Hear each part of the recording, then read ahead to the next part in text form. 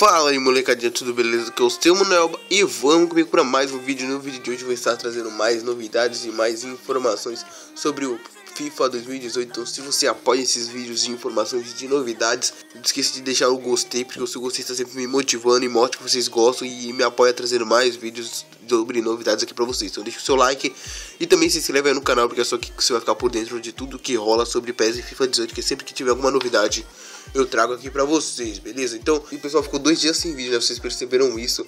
E realmente estou fazendo esse vídeo um sacrifício porque eu estou muito gripado. Se eu falar um pouco errado durante o vídeo, eu sinto muito por causa quanto a isso, que tá me atrapalhando bastante. Mas essa informação eu vou trazer aqui pra vocês hoje do mesmo jeito.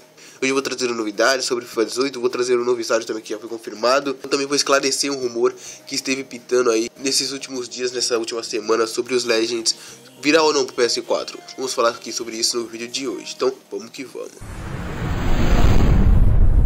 Como todos nós já sabemos, a EA Play que ocorrerá dia 10 a 12 de junho, lá teremos mais informações e provavelmente podemos esperar o um novo teaser trailer do FIFA 18. Lá eles podem soltar um trailer de anúncio, né, velho? Pode trazer muitas informações. Então anota aí na sua agenda que dia 10 a 12 de junho ocorrerá esse evento. Lá não falará só sobre o FIFA. Lá também falará sobre o Star Wars, Battlefront 2, o FIFA 18, o Made in NFL 18, o NBA Live 18, o Need for Speed Experience, o The Sims Mobile e The Sims 4, Battlefield 1 e os novos conteúdos para o Star Wars, Galaxy of Heroes e Titanfall 2. O Made in NFL Mobile, NBA Live Mobile e também sobre o FIFA para o Nintendo Switch. Esse evento será muito importante porque lá teremos mais informações e teremos provavelmente o teaser trailer que eu estou muito ansioso para ver como é que está o trabalho da Frostbite nesse novo ano, né? E vamos começar falando sobre o novo estádio que está licenciado. É um estádio bem bonito, é de um time que acabou de se promover para a primeira divisão da Liga Inglesa. O nome do estádio é John Smith's Stadium, ou seja, é o estádio do Huddersfield. É um estádio muito bonito, tá passando na tela para vocês algumas imagens dele. Eu tenho certeza que é muito fundamental a liberação desse estádio, porque já que o, que o time está se promovendo para a primeira divisão, eu tenho, muito, eu tenho muita certeza que muitas pessoas vão querer fazer modo carreira, até youtubers grandes. Eu tenho certeza disso, que vão querer fazer modo carreira e deixar esse time grande. Já ter o estádio desse time nesse jogo já é um grande avanço, velho. Porque realmente, se fosse para fazer modo carreira e jogar todas as partidas em casa em um estádio genérico, ia ser muito chato, né, velho? Então, já a liberação desse estádio mesmo sendo um time pequeno, eu tenho certeza que foi um, um passo gigantesco. E essa informação veio direto do blog do Renan Galvani, então se você quer dar uma olhada tá aqui na descrição. Nos últimos dias eu trouxe um vídeo falando sobre um possível, uma possível parceria entre EA e Sony. Isso aí, essa parceria possibilita a utilização e a exclusividade de Legends transferindo para do Xbox para o PlayStation, ou seja, essa parceria que tinham todos os anos entre Xbox, ou seja, a Microsoft e a EA está se acabando. Vemos que o contrato está se encerrando e provavelmente não será renovado. Então nesse evento que aconteceu, aconteceu um playtest na Alemanha um dia desses, onde youtubers e jornalistas estiveram testando o FIFA 18. E nesse evento, uma coisa muito curiosa que aconteceu foi que, em vez de estar destacado o logo da Microsoft e do Xbox, que nem é todo ano, esse ano foi diferente, esteve destacado o logo do PlayStation 4 Pro. Isso já surgiu dúvidas e um grande rumor que a EA estaria acertando parceria para o PlayStation 4. E esse rumor realmente nesses últimos dias se confirmaram, pessoal. O contrato de parceria com a Microsoft está se encerrando nesse ano. Então, isso realmente é verdade que essa parceria entre EA e Sony realmente existe. E a informação que temos foi que a Sony procurou a EA para essa parceria e essa parceria foi acertada e não se dá só apenas ao FIFA, mas todos os jogos futuros da EA. Então, você que comprou o Xbox One e deu preferência ao Xbox One por essa parceria, você realmente quebrou a cara porque isso daí está se encerrando nesse ano. E o que facilitou essa parceria é realmente a quantidade que vende a mais no PlayStation 4, porque nós sabemos que é tipo um PES e um FIFA realmente essa disputa.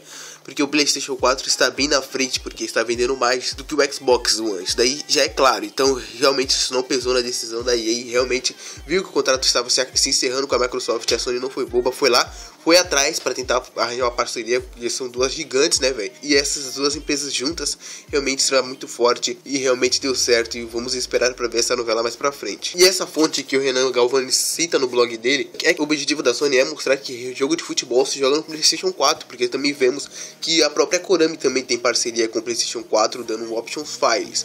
E agora eu não sei como é que vai andar essas, essas duas empresas rivais, né? Porque para mim, EA e Konami são empresas rivais tendo parceria com a mesma empresa, tipo a Sony. E com o lançamento do Xbox Scorpio que está para acontecer, a Sony pretende atrair parcerias para que o futuro lançamento do próximo console da Microsoft seja obscuro, ou seja, seja um pouco esquecido. E também se você gosta de jogo de esporte, a EA realmente é a produtora de jogo que mais produz game de esporte. Tem NBA, tem Made NFL, tem até jogo de golfe, para vocês terem uma ideia. Então, caso você jogue jogo de esporte, não tem muita dúvida na sua cabeça, né? Agora em escolher entre PlayStation 4 Pro e Xbox Scorpion. Com essa parceria nova aí, realmente o PlayStation 4 vai vir muito forte, cara. E para os fãs de PES, não fiquem tranquilos que essa parceria entre Konami e Sony realmente vai continuar para o PES 2018, ou seja, as duas empresas e Konami terão parcerias com a Sony, com o PlayStation. E provavelmente pode ser que nos próximos anos, se o, se o FIFA realmente se agigantar e a Sony realmente vê que não está rendendo lucros essa parceria com a Konami, quem sabe pode ser que a Microsoft procure a Konami para aceitar uma parceria, dando, é, levando assim os options files para o Xbox One. Caso alguém ainda esteja em dúvida, essas parcerias com essas produtoras entre Sony, EA e Konami não tem nada a ver com licenças de ligas e campeonatos. Porque realmente, ao meu ver, seria ótimo se essas ligas, ou seja, Champions League e Libertadores, estivessem nos dois games licenciados. Porque realmente tem gente que gosta de FIFA e tem gente que gosta de PES. E realmente isso é o que vai acontecer no futuro, já que essas próprias empresas, ou seja, a UEFA, está vendo que contratos de exclusividade não dá em nada. Porque com o crescimento do, do esportes, ou seja, dos campeonatos, eles realmente veem que eh, o marketing deles vão ser bem melhor, eles vão ganhar bem mais dinheiro se eles estiverem nos dois games. Então, podemos esperar o fim desses contratos de exclusividade, tendo que até o esporte pode virar até um esporte olímpico já nas próximas Olimpíadas. E é de enorme interesse que essas ligas e clubes estejam nos dois games. Beleza, pessoal. Por hoje foi só. Espero que vocês tenham gostado. Até foi tranquilo, né? Mesmo estando gripado, consegui fazer o vídeo tudo ok. Então espero que vocês tenham gostado do vídeo. Não esqueça de deixar o seu like também, que isso me motiva bastante. Caso você não gostou do vídeo, deixa aqui nos comentários o porquê que você não gostou porque assim eu vou estar tentando melhorar e pra estar agradando você também, ok?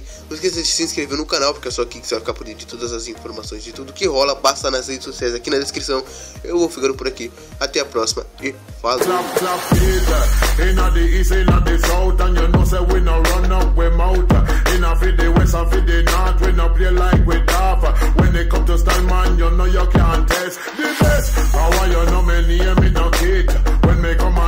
deliver Weekend. Klappt ja an,